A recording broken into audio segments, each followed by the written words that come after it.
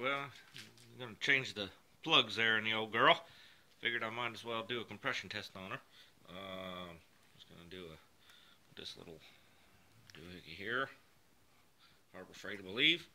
Uh, you know, this is not an actual true compression test because this engine is uh, stone cold. So eh, when the engine heats up, the metal expands. Um, you know, things fit tighter. The uh, rings seal better, and you get more compression. And that's really when you want to do a compression test is when the engine is hot.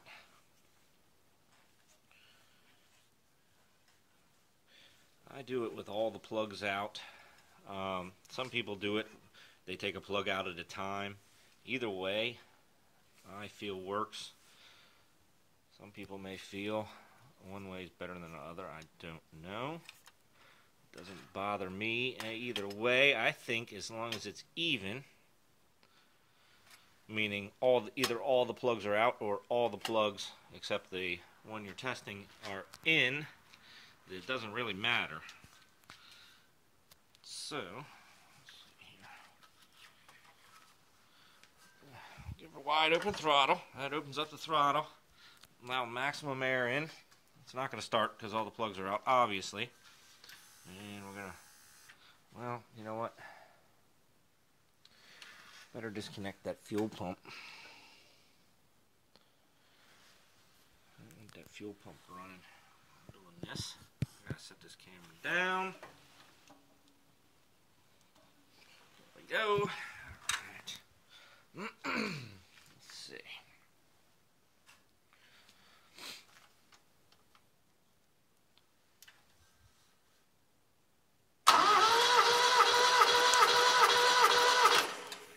Beautiful. Look at that. That is exactly what you want to see. Uh, sharp rise within five to seven uh, revolutions. You want uh, you want that gauge to max out, and look at that, 150, and that's cold. That is beautiful. Let's see here.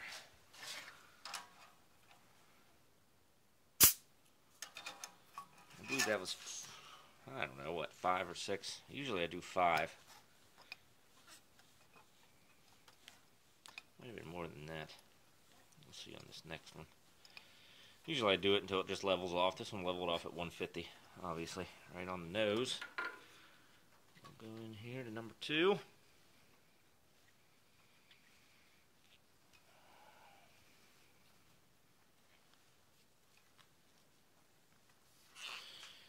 Hmm, if there's a better way to do this, I don't know it. This is just easy enough. Probably twist that hose off at some point, whatever.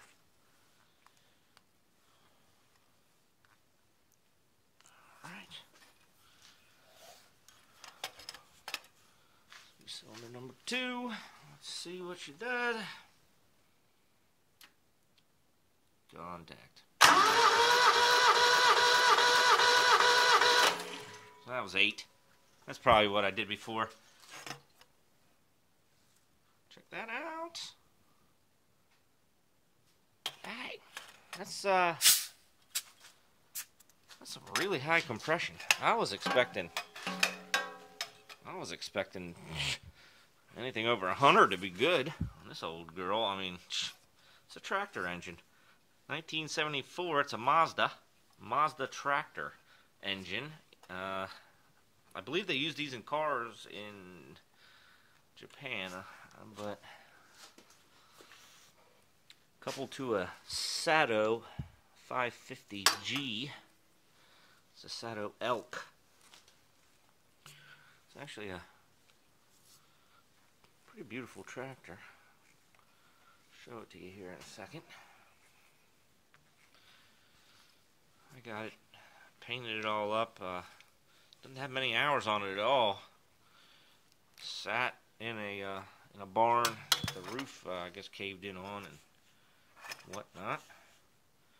And someone started to restore it and stopped, and then I bought it and restored it the rest of the way. That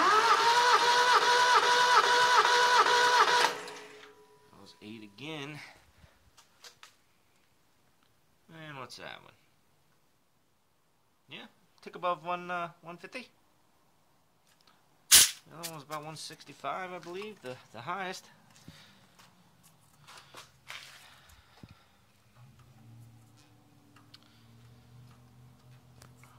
Excuse my fingers.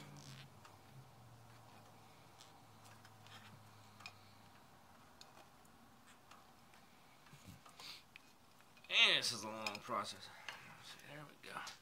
Guess I could edit all this out, huh? But I won't. Because I don't.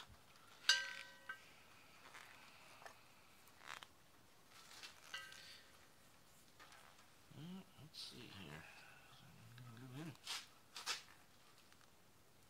Is that one gonna go in? There she goes.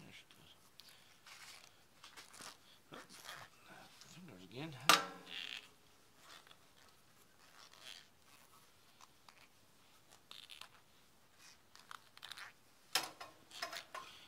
Alright. Let's see the last one.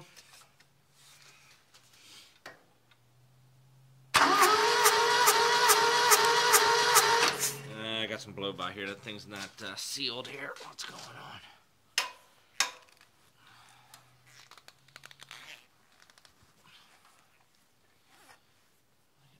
In there. Leaking by. Hissing whatnot at me. But still, what's that? 120, even with it leaking, so I'm sure it's good too. Let's see. Try it again. I, I it's still not seated down in there though. What's down in there? Why it's not? Spark plug was, was in there fine. Yeah, I can hear it hissing there. Yeah, she's leaking, uh, leaking by there. What's going on? But still, 120 with a with a gigantic, uh, a gigantic compression leak there. That's not bad. Yeah, it's not. Uh, it's like it's threading in there, but it's not seating on the uh, O-ring for some reason. Take a look down in there real quick here. Let's see. Oh, the O-ring was all messed up there for one thing. Hmm, oily down in there. No, it's not oily. I guess.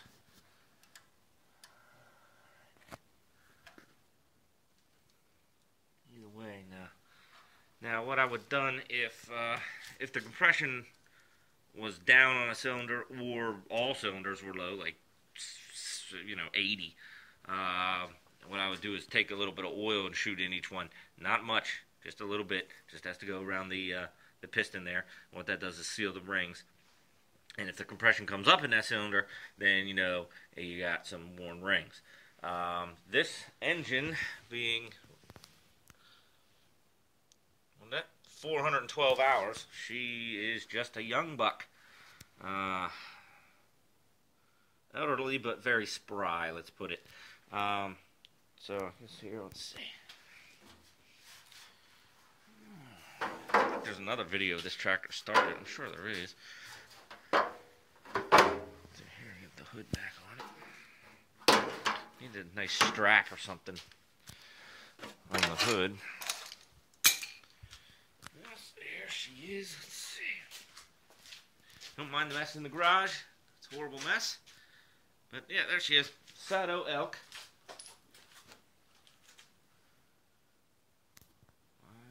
There we go. So I put the top stack on the stack there with the little uh, thing there. Um, it it did go down. Actually, here, check it out. This piece was actually rotated the other way. It went down, and the exhaust went out underneath the tractor, out underneath here, and I did not like that. So I put a little stack on it, which uh, yeah, it's all cool. Runs awesome. Uh, taking it out. There's some videos on there. Uh, search my channel. You'll find some videos of it. Uh, more recently, pulling a go-kart out. I think if I haven't uploaded that, I will upload it. Um, But uh, yeah, little four cylinder engine here. Like I said, Mazda. Uh, somewhere. Let's knock some stuff over somewhere. There it is. The old Mazda symbol right there. Check her out. There's a, a block off plate I made. Had a uh, mechanical fuel pump, which uh, I put a uh, nice little 12 volt pump. Comes on with the key. I disconnected it for the compression test. Um, I went through the carburetor. It's it's decent. There's nothing really uh, too much wrong with it.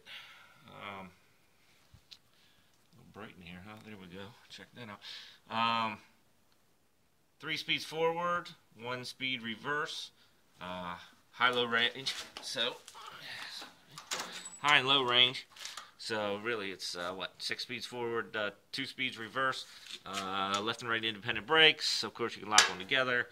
Um, what three-point hitch back there? Um, put a new steering wheel on it. I have to top that off with something. I don't know. Um, high low beam high low beam headlights. Uh, why I don't know. One of them's out now that the hood's open, but yeah. Um, the you know the first notch turns on the uh, dash lights there. Second notch is low beam. The third notch is high beam, which is really really weird.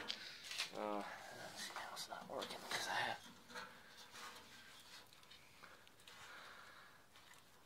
There we go. Well, look at that, of course. Nothing will ever work right. Yeah, obviously. So, yeah. Let's see. There we go. High and low beams. Um, yeah. Um, it's a, uh, the hydraulic system is, is, uh, live. It's got live hydraulics. Uh, so they're, uh, they're always pressurized. It doesn't matter. It's not driven off the, uh, off the, uh, output shaft of the engine, the rear output shaft through the clutch.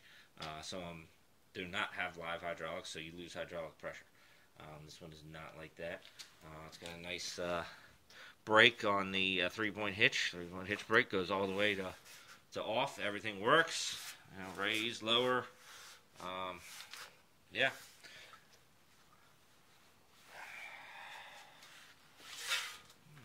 Hitch comes down.